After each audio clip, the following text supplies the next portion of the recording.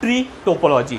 We can see this structure as a tree also. In data structures, you would have studied the tree and this is how the tree looks. There is some root nodes there are some leaf nodes okay? Some intermediate nodes are there. So similar fashion this tree topology is also working as here we are going to have a central hub. There is going to be a central main hub. You can say it as a root node of your tree okay? This central hub further can be connected to directly systems or devices or nodes of your network or can be connected like this to the hubs to which we can call as a secondary hubs. Okay this is the main hub central hub and these are the secondary hubs. These are the secondary hubs which are attached to your central hubs. Okay now this hub further will be connected to your devices to your nodes of your network like this okay so this is the simple structure of tree topology as you can observe here but one disadvantage as you can see it here. What is the one big disadvantage here? If this central hub goes down if it fails because of some reason let's say because of some reason this central hub gets down gets fail then the whole network then the whole network will be distorted. It will be crashed. It will also fail. It will also go down. That's what the very big uh, disadvantage of this tree is there. And plus one more thing i would like to add into the disadvantage of the tree topology is that this topology is very very you know complex and difficult to in a way install and configure. Tree topology is really very difficult and complex to install and configure. Plus plus whatever the cables you are seeing here whatever the links you are uh, trying to see here they are also going to cost you much okay so there is a heavy cost involved for these bulky cables that you are going to use in the tree topology so friends, let's move to the next one, the last one but not the least, network topology, mesh topology, not mesh topology. It is not M-E-S-S, it is M-E-S-H. So that's the mesh topology.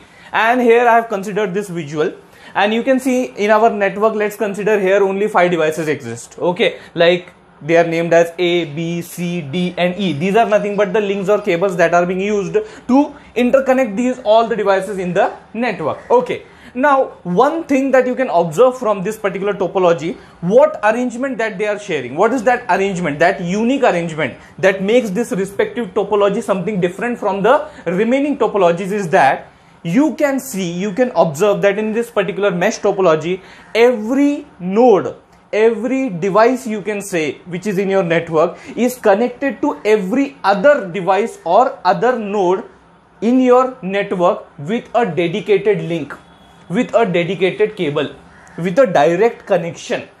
Okay i hope you are getting the point. Let's say i am considering a respective node a. Now you can see a is connected to b with this particular dedicated link it is connected to e with this dedicated link c is connected you know to a D is also connected. So this particular node in your network is connected to every other node in the network with the help of a dedicated link. And this is the same for everyone like C, you know, B, every other node which is present. So because of this, what is happening? Let's just consider a scenario.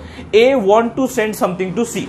A just want to send something to C. So it can use directly this link it can use directly this link. Let's say for example for some reasons this link is not working. Let's just consider let's make some assumption that this link is not working. So it can be reached by reached out by this like a to b to c. What are the other ways? It could be also reached a to d to c. It could be also reached a to e to d to c. So just by looking and observing at this visual what we can say about mesh topology is that it is very complex. It's very complex and this is one of the disadvantage point of mesh topology that it is really very complex and difficult to configure such type of topologies.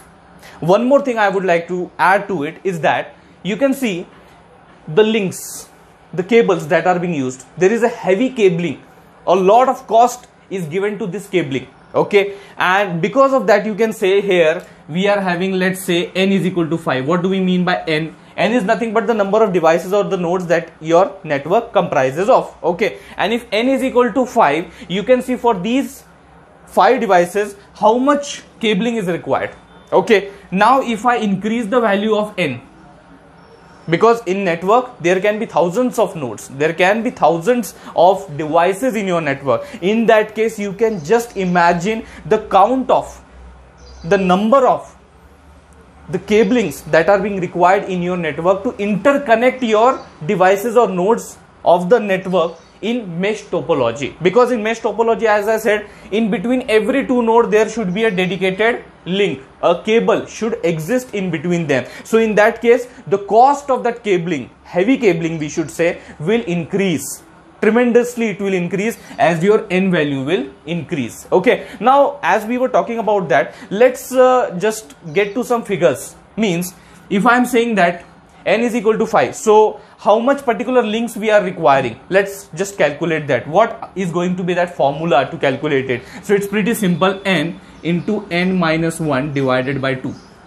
okay. So just put the value of n that is 5 into 4 divided by 2 so what we get? 20 and 10 okay. So that's the answer. 10 links. You can count it. 1 2 3 4 5 6 7 8 9 10 okay. So how many are required? 10 links are required when n is equal to 5 and similarly when n would be anything let's consider x. It could be any value. So for that to calculate what is the number of links that are going to be required you can just consider this formula so that's it from my side regarding the network topologies. We discussed various network topologies. If you understood them if you found this video informative do like it and share it with your friends